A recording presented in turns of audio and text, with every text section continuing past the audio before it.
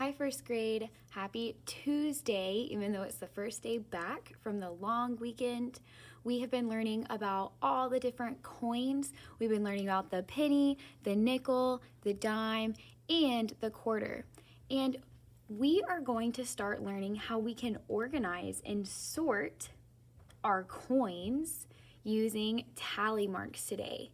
Now, are you activating that schema We've talked about tally marks before. I want you to take a second to pause and reflect on what tally marks are. Do you remember why we use tally marks? Or what they look like? Well, today we are going to use tally marks to collect and sort data using our coins. So let's review tally marks.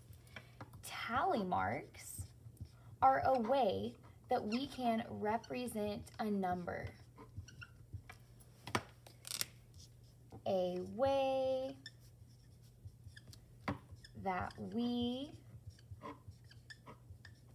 can represent a number. So we represent numbers in many different ways. We've represented numbers with pictures or base 10 blocks or standard form or expanded form. But today we're going to represent a number using tally marks. Do you remember what it looks like? What does a tally mark look like? How do I make one? Hmm.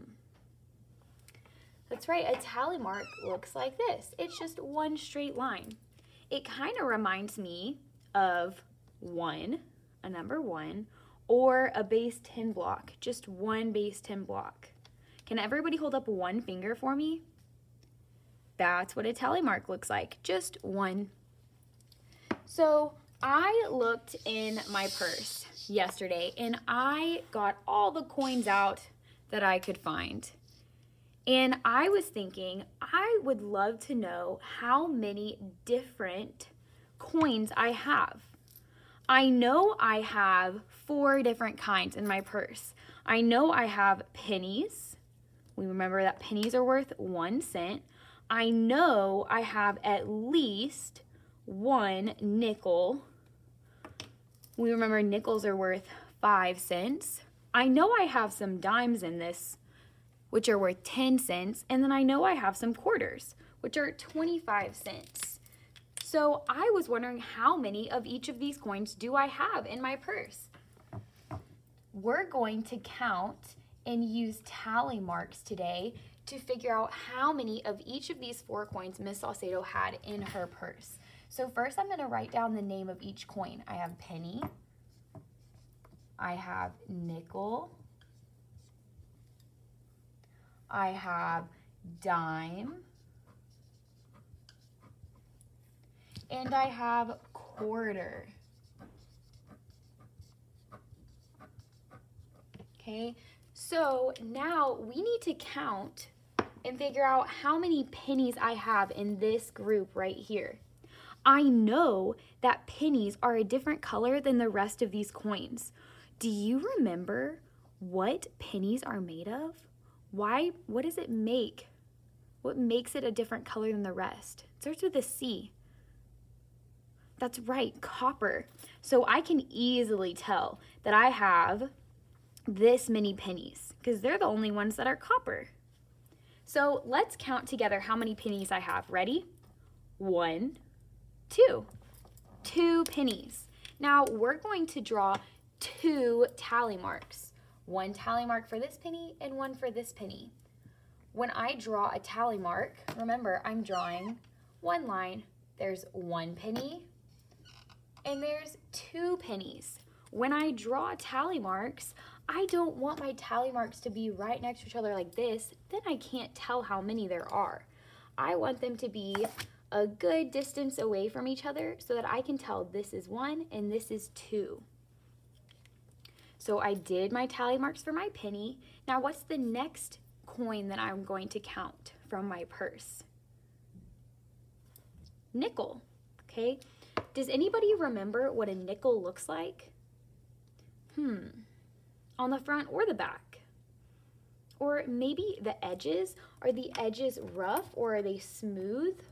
I'm looking at all these different ones. Hmm. Well, I know that the chant for the nickel, it tells me that the edges are smooth and that the nickel is thick and fat. So here, I know that this is a nickel because the rest of my coins all have bumpy edges. So I know this is a nickel and there's Thomas Jefferson on the front. I don't think I see any more nickels, do you? Nope, that's it. So show me with your fingers how many tally marks I'm gonna draw for this coin. That's right, just one, because there's only one nickel. So there's my one tally mark for nickel. I only had one nickel in my purse. Hmm. Let's see how many dimes I have. Do you remember what a dime looks like? I remember that the dime is the smallest and the thinnest coin. So do you think that this is a dime or this is a dime? That's right. The smallest one is this one, so it has to be this. This is the dime. Now, let's see how many dimes you think I have. We know that they're going to be the smallest, so out of this coin collection right here, can you count how many dimes you think I'm going to have? And then we're to do it together. Push pause, count the dimes, and then push play when you're ready. Okay, you should have paused the video and counted how many dimes I have in this collection right here. Let's see if you got it right. I have one, two, three, four, five, six, seven. Seven dimes. Is that the number that you counted? Great job. Now, we've counted, but we haven't done our tally marks yet. When I do tally marks, I do the one line. So I'm to start one, and I'm to keep going. Two, three, four. Does anybody remember what you do when you get to five tally marks? I remember when we learned about tally marks, I don't write five right next to each other. I do something different when I get to five. What do I do? Oh, you're so right. I have to cross my fifth one over. It makes a group of five because remember, counting one by one all together, it takes a lot longer than if we have groups of five. Skip counting by five is so much faster than counting ones all the way to 100. It takes so much more time. So when we're drawing tally marks, we get to five, we're gonna draw our fifth one across our other four. One, two, three, four, five is across. I know that this group right here is automatically five.